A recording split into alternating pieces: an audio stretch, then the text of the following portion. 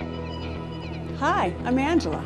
Join me as we open doors globally and explore life's fabric.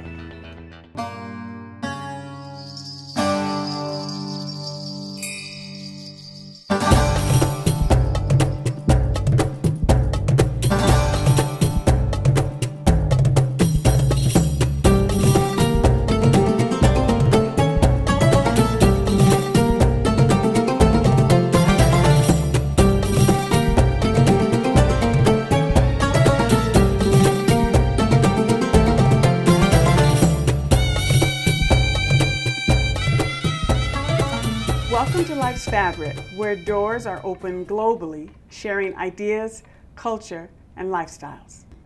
I wanted to know if people thought education could create a better world, a world with more tolerance for cultural differences, a world that might have less conflict due to an increased understanding of needs. So I headed off to Africa and interviewed five people who shared their thoughts on three questions about education. And here's the first.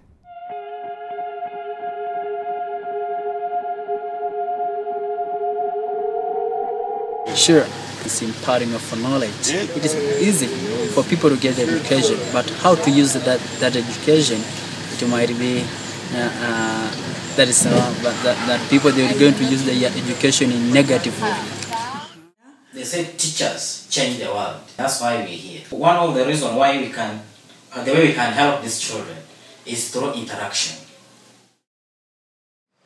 And in the US, well, you have this ideal of capitalism, and the thing is, is that capitalism doesn't give meaning for young people's lives. I think education will be uh, a very strong weapon that to to make the societies from one country to the other as one.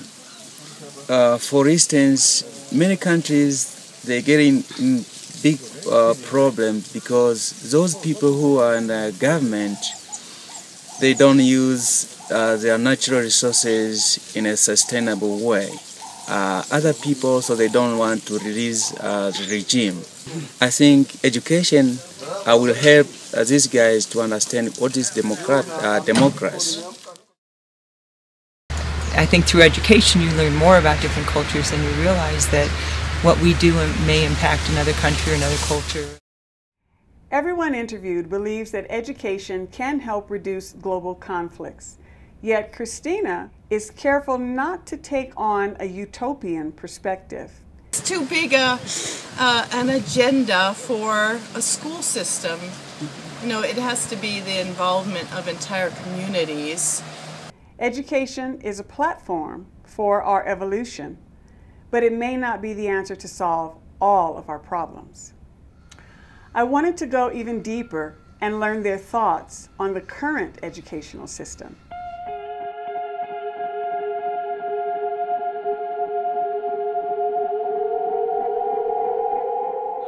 Those days we had cultural activities.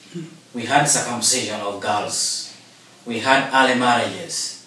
We had the uh, killing of albinos. So through globalization, has really helped to remove these cultural activities. Well, I think the children that I deal with in Telluride are, are very isolated from the real world, and this trip to Africa has totally opened my eyes, and I would like to bring. They, they have very little awareness of what the real world is like. And I feel like my goal from this trip is to come back and share my experiences with the kids. So many people that lack so much, and yet they're a very joyous, happy people, and they've been so welcoming to us that it's really touched my heart. Wonderful. Because we have uh, maybe uh, informal, there is informal education, but the education someone get starting from the family, that will be better than, because it is a foundation. If you wait too long in education to to give input as a parent, it might just be too late. You know, when people have gone through an entire school system without much intercultural exchange, uh, well, they come to a place like Tanzania as young adults, and they they don't have the eyes to see a different school system. So all they see is uh, poverty, broken windows in the classrooms. All they see are the problems rather than uh, the possibility for for understanding. A very strong bridge uh, among the societies because some societies still they believe that uh, their tradition and the culture is very important than education. Uh, people from abroad uh, they try to open hearts of uh, African societies to, to, to get them in a good education. Home involvement tops the list of what's missing in education. Young children are often sheltered from the whole world and instead taught only about their local world, kind of like global segregation. Lastly, I was curious to know if they had any hope for the future.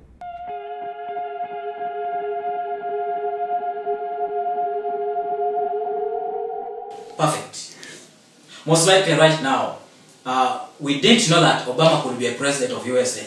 So, through education, we can make the world to reach very far. So it must be uh, interaction of both education. Now there is changes you know all over the world. So how can we going to uh, to go with these changes?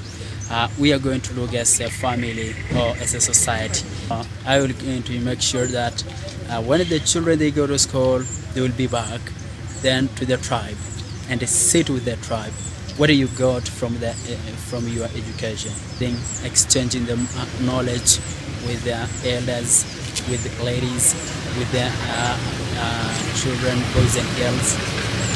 The, the world will be a very good place to live uh, because people they live in a harmony uh, people they respect uh, each other from one country to the other. Education is very important all over the world. Try to make effort, uh, doing everything uh, possible uh, to make sure that uh, every kids are getting education.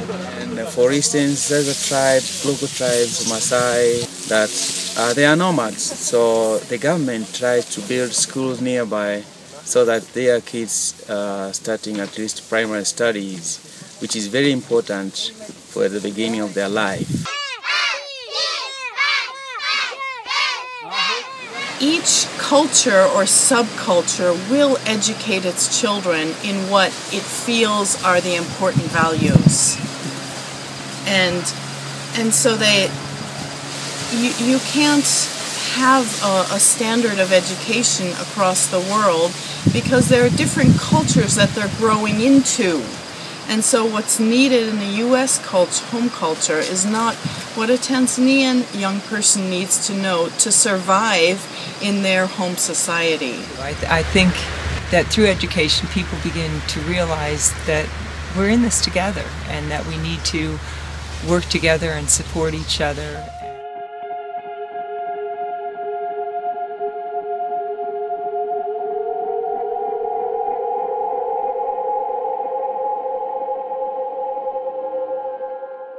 Hope leaves her mark on these five guests. They see the role of education playing a part in a better understanding of each other. If we can't rely on the same home involvement, we could rely on a basic, agreed upon level of education globally. In North America, Alaska, the UAE, Italy, and parts of Europe, standard education runs until the age of 18. Mandatory schooling until the age of 16 to 17 is the norm for Brazil, Chile, Canada, Australia, and New Zealand. And parts of Asia, Europe, and Africa, standard education ends between the ages of 12 and 14. And many countries in Africa don't even report statistics on school age children. So, how can we communicate and understand each other's needs if we're operating on different levels of education. In parts of the Middle East, like Iraq, 39% of the rural population is illiterate, and 22% of the adult population have never attended school. Overall, about 25% of school-aged children do not attend school whatsoever.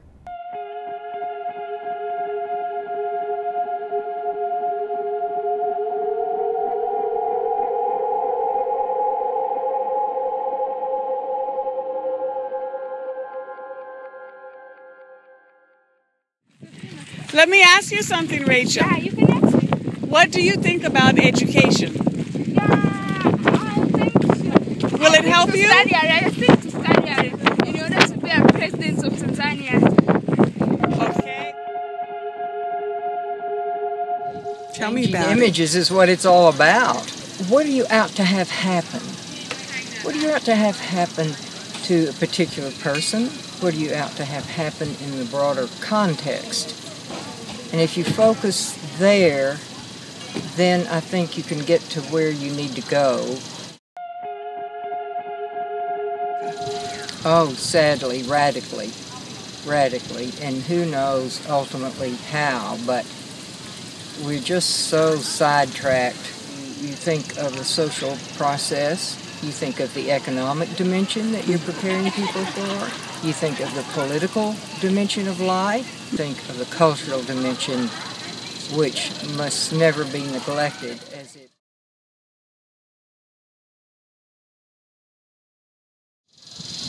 send them away from where they are now. Mm-hmm. I grew up in West Texas, so for me, send me out of Texas.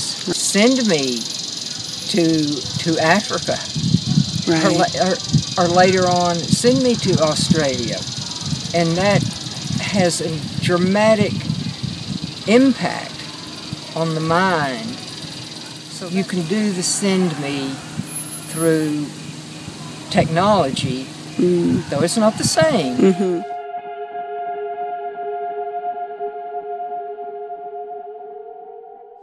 I grew up in the country. I didn't think of myself as being able to go global, but circumstance gave me that opportunity. My children, uh, a boy and a girl, are they were born global citizens. One one is back and forth between California and Thailand and and uh, Arizona. The other one happens to be in D.C. now. He works for the World Bank, and um, he's uh, chief executive officer for community outreach. I have friends of mine, three ladies from USA. They are here in Tanzania now. Uh, yesterday we went in a village, Maasai village. They tried to teach, to teach them uh, the way people living in other side of the world. And uh, those Maasai people, they were happy because uh, it's like uh, one step ahead. Uh, we were playing with them uh, baseball. Uh, it was one team between ladies and gentlemen in in, in that Maasai village. So I really um, congratulating them to have that uh, kindful heart, so that other people they can. Um, uh, it's a good example for other peoples to do it.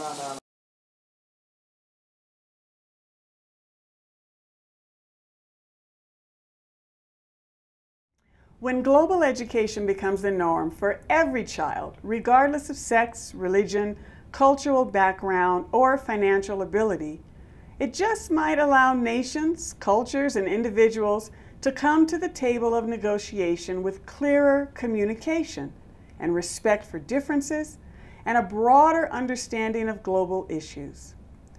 Let's hope we get it right for our future generations. Bye for now. See you next episode.